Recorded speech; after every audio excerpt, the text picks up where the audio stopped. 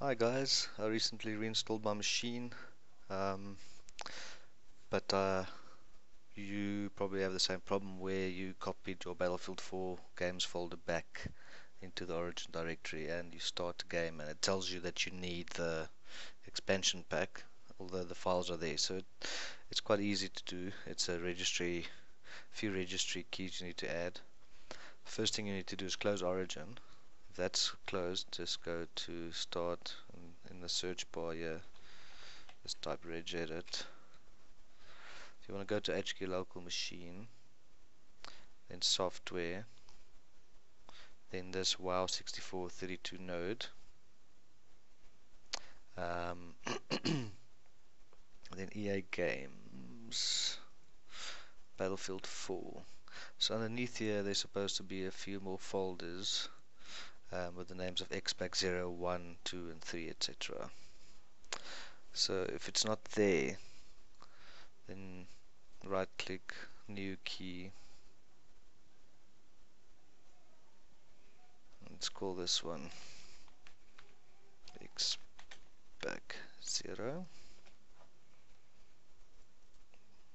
new key XPack 1 let's copy this. New key XPack 2 and I need XPack 3 as well so let's do that. XPack 3 so XPack 0 is for the second assault DLC XPack 1 is for the China Rising DLC XPack 2 is for Naval Strike. XPack 3 is for the latest one the Dragon's Teeth. So if you go on XPack 0 you'll see nothing in there.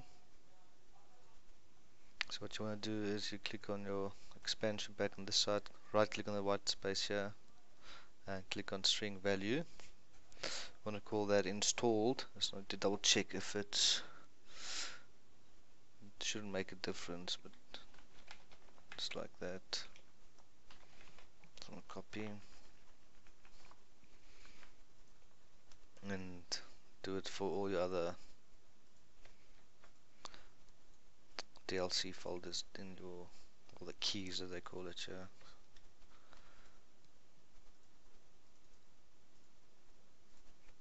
installed okay. Then you go back to each install double click it and value data you should say true. So I'll copy that again true.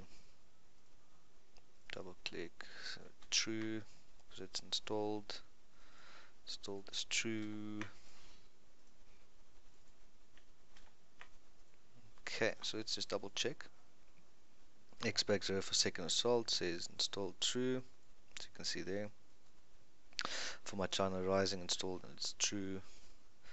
For my Naval Strike it's installed and true. XPack 3 installed and true okay so you can just close this. Start origin.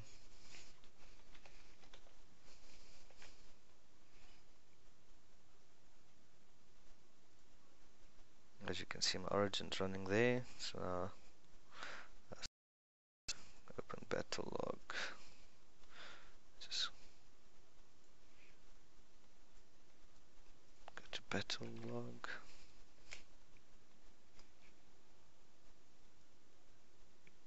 and I had a mate that played on oh there's a server. Boom and it's connecting so that's working. Thanks for watching. This should sort out your problem if you can't uh, access or join a server with the DLC even if you've bought it and it's and it's downloaded. So just create those four um, keys in your registry and then add those string values. And you are golden. Thanks for watching. Hope it was useful enjoy. Cheers